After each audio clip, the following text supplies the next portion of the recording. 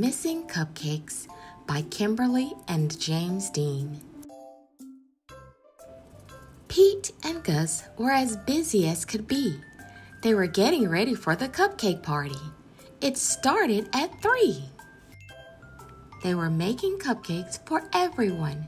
Pete and Gus counted them just for fun.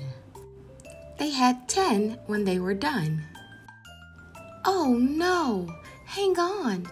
Some of the cupcakes were gone. They were sure there had been 10. Pete said, Maybe we need to count again. They counted the cupcakes lined up straight. Now there were only eight.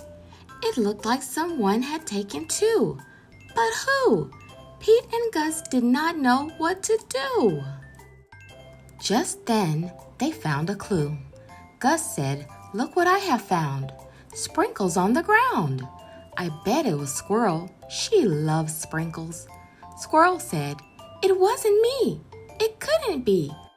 I've been at the spelling bee. Uh oh, more cupcakes are missing. Come and see. This was too weird.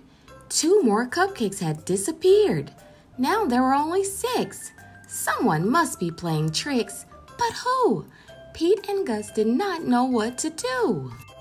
Just then, they found another clue. Pete said, I bet it was Alligator. He loves to eat. Alligator said, It wasn't me. It couldn't be. I've been learning my ABCs.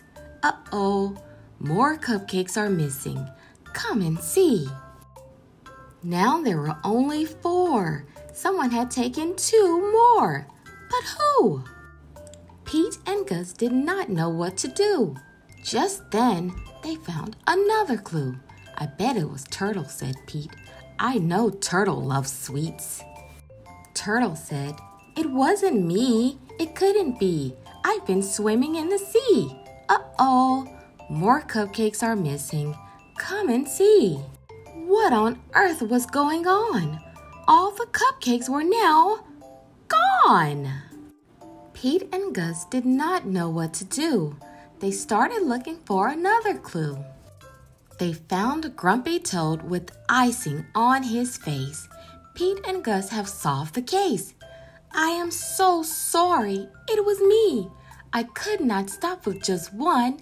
I ate and ate till there were none. Everyone agreed. Grumpy Toad would have to miss the fun. He could not come after what he had done.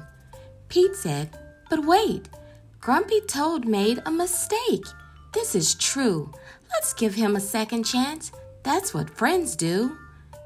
Pete told Grumpy Toad they would give him another chance. He was so excited, he did a happy dance.